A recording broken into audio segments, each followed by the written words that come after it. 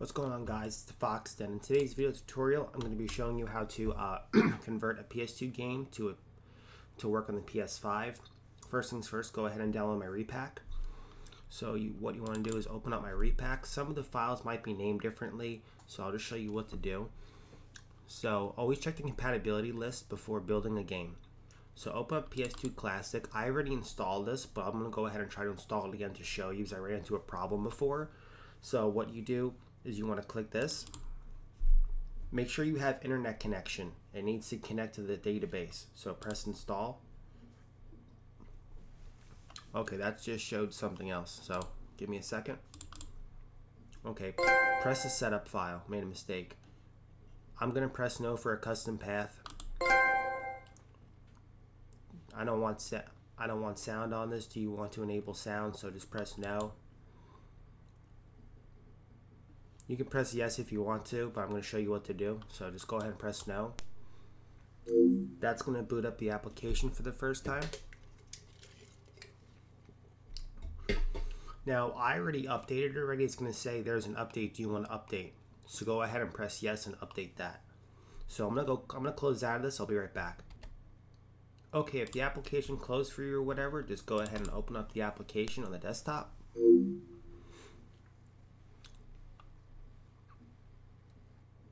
Okay, now what we're going to do is we want to find the game that we have.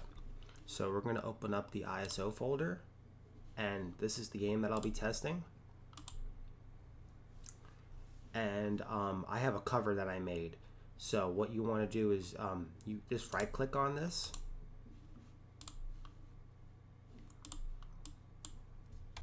Sorry about that, I had a hiccup. I'll show you how to change the cover on here. So you want to go to file and you want to press replace cover and find the image you want to use for whatever the title is called. Press OK. Alright. Then you want to press Create PS2 Classic. Now I made a folder on my desktop called Test. So what I'm going to do is I'm going to put it in there. And right now it's uh, creating the package. So I'll be back when this is done.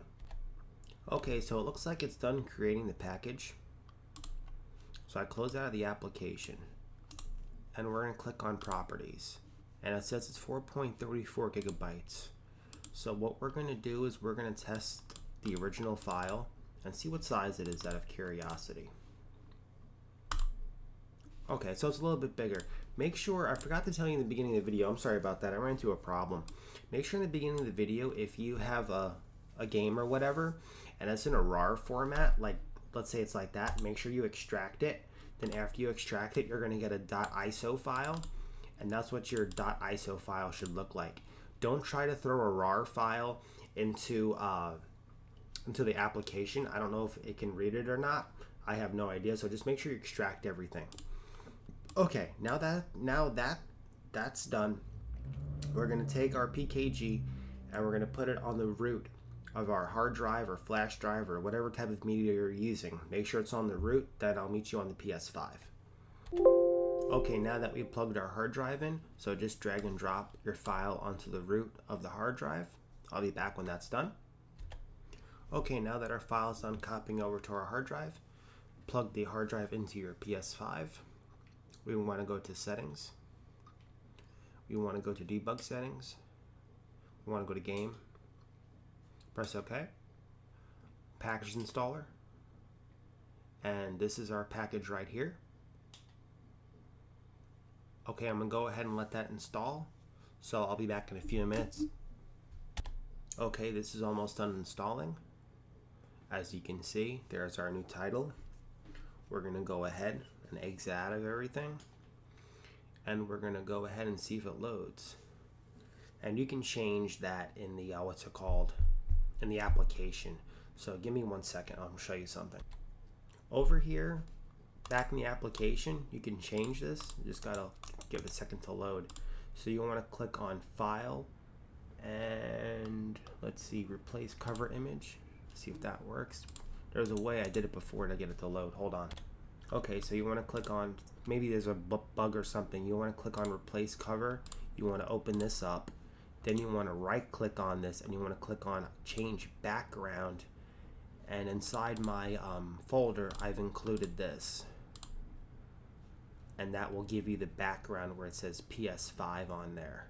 Then from there, you can rebuild the package and everything. So, yeah, okay. Meet you back on the PS5. Okay, so don't worry about the Unity thing. So let's go ahead and load this up the first time and see if it works.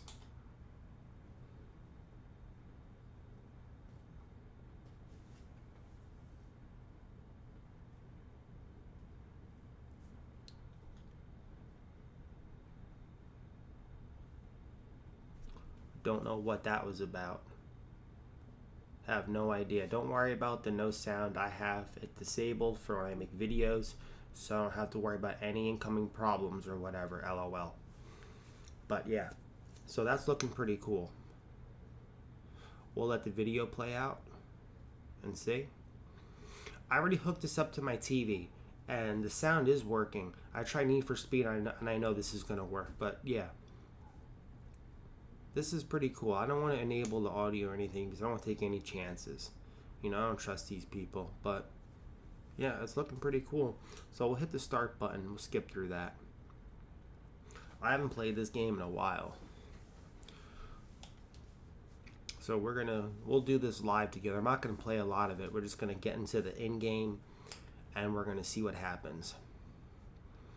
From playing the Need for Speed Underground 2 or whatever the heck it was called, it seems like the visuals did an upscale on it. I remember playing this game back in the day. This game was awesome. They need to make new games. They really do. Rockstar has so much potential to make some awesome games. You know, they just want to sell GTA 5 6,000 times.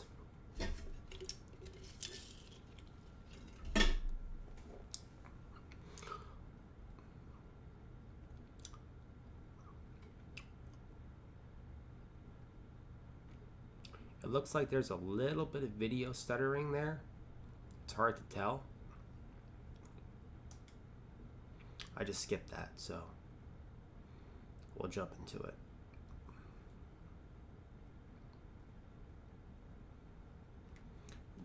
Now, it might just be the PlayStation or the not the PlayStation. It might just be the Elgato, but the video looks kind of fuzzy. Like it looks like it's shimmering.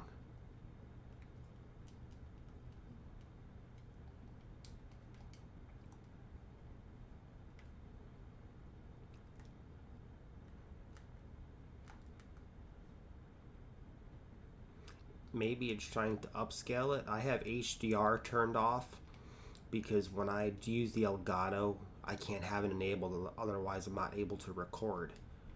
But yeah, this looks this looks pretty cool. I mean, it is playable and everything. I mean, you, you got the nice you got the nice PS5 controller and everything. So this is pretty cool. Um, I'm going to be back in one second. I'm going to pull up something. I'm going to check the compatibility list. I think there might be a problem with the visuals I was reading, but it said the game did work, so give me one second here. Okay, if you look what I highlighted, it says there are some lagging issues with graphical glitches without patches, um, blah, blah, blah. Now, it took a little bit of time for it to, it looks like it's glitching now. Might be because of the visuals. So, put on pause, I'll be back. Okay, so it did glitch out there for a second. It seems like when there's a lot going on, it glitches out. Maybe they can make a new patch and get this up and working, but the game is working. When you go from hallway to hallway, there's kind of a bit of a glitching kind of, um, it crashes a little bit. Maybe it does this on the PS4. I have no idea.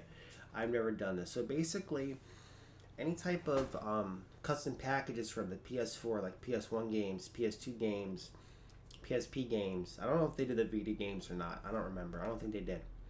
Any type of any type of games that work from the previous hacked PS4 will run on the PS5. I'm I'm certain it will. This is the second game I tried. So anyway, guys, like and subscribe to the Fox Den. I'll catch you later. Hope the guide helped you out. See, it crashed again, but yeah, whatever. It is what it is. You know.